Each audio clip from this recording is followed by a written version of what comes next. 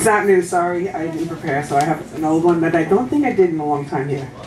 It's called The Sounds of the 14th Street Subway. The F train arrives, express to Queens, rattles in motion, click clack it speaks. Kick the can, you know I can. Kick the can, you know I can. Next to me, quietly click clacking, typing on a PC, I look over to see Marilyn Monroe images. And the backup singers say, Stand clear of the closing doors, please. Now the train is humming and rattling and humming and rattling, and Music Man is buzzing hip hop from white earbuds. I try to listen in. What is that tune? And the train is really booking now.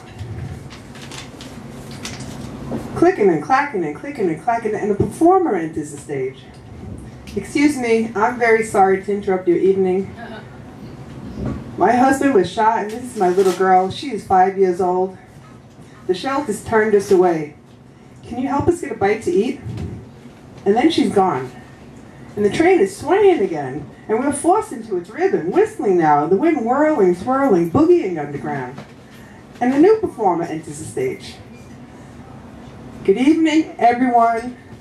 All I say in the name of Muhammad, I am your brother, and I'm here to feed the homeless.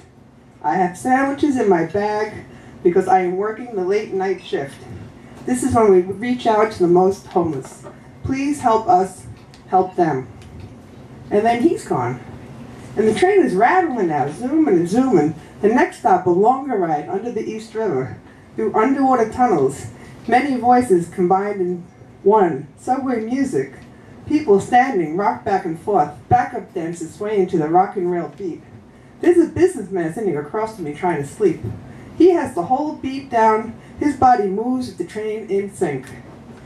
Out the subway car window, lights flash.